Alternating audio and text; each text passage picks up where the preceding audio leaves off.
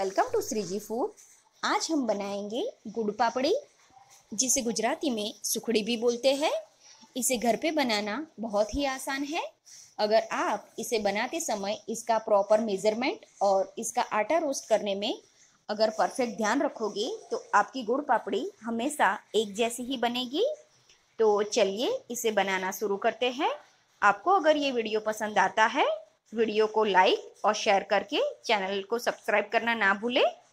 गुड़ पापड़ी बनाने के लिए हमें चाहिए थ्री फोर्थ कप घी। मैंने होममेड घी यूज़ किया है और घी जब इस तरह का थिक हो तभी हमें उसका मेज़रमेंट लेना है। थ्री फोर्थ कप गुड़ मैंने लिया है। गुड़ के छोटे टुकड़े कर ले या फिर उसे चाकू से कट कर ले। और एक कप मैंने गेहूँ का आटा लिया है, जो हम जनरली रोटी बनाने के लिए यूज़ करते हैं। वही आटा मैंने लिया है।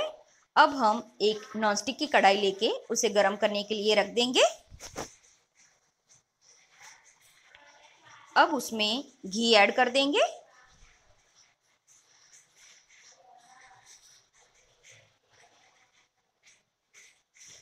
घी इस तरह से मेल्ट हो जाए, तब इसमें आटा ऐड कर देंगे। और गैस की फ्लेम स्लो टू मीडियम रख के हम इस आटे को रोस्ट कर लेंगे। हमें इस आटे को रोस्ट करते समय गैस की फ्लेम स्लो टू मीडियम ही रखनी है और इसे कांस्टेंट हिलाते हुए हमें रोस्ट कर लेना है, क्योंकि गुड़ पापड़ी का पूरा टेस्ट इस आटे के रोस्ट होने पर भी डिपेंड करता है। जब ये रोस्ट हो जाएगा तो आपको इसकी स्मेल भी आएगी और इसका कलर भी थोड़ा चेंज लगेगा। ये इस तरह से थोड़ा डार्क हो जाए, तब हम गैस की फ्लेम स्लो करके इसमें गुड़ ऐड कर देंगे।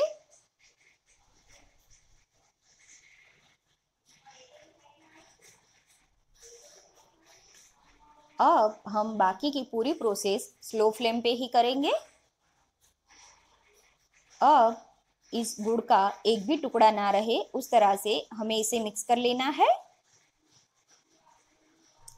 ये अच्छी तरह से मिक्स हो जाए, उसके बाद हम इसे एक ग्रीस की हुई थाली में स्प्रेड कर देंगे।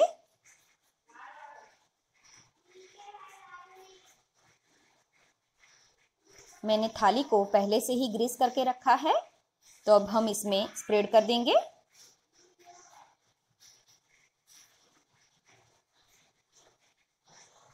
पहले इसे इस तरह से, सही तरह से कर ले और उसके बाद एक बाउल के पीछे घी लगा के उसे इस तरह से इवनली स्प्रेड कर दे, ताकि उसका ऊपर का लेयर एकदम सही हो जाएगा।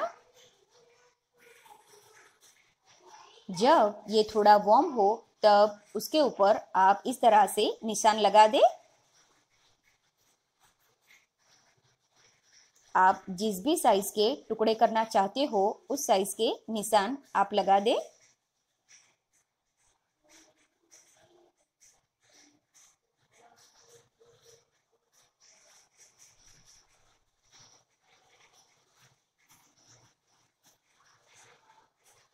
जब ये थोड़ी ठंडी हो जाएगी, तब हम इसे सर्व करेंगे। अब हमारी गुड़ पापड़ी सर्विंग के लिए रेडी है। ये टेस्ट में बहुत ही अच्छी बनती है और ये खाने में बहुत ही सॉफ्ट है। आई होप आपको ये वीडियो पसंद आया होगा।